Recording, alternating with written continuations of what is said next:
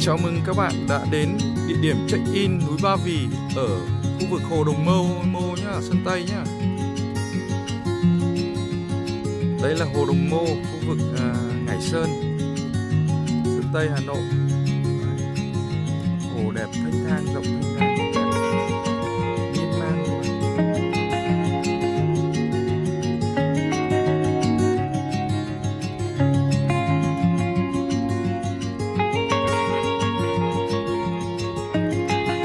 điểm check-in ngắm núi Ba Vì tuyệt đẹp vời luôn các bạn nhé.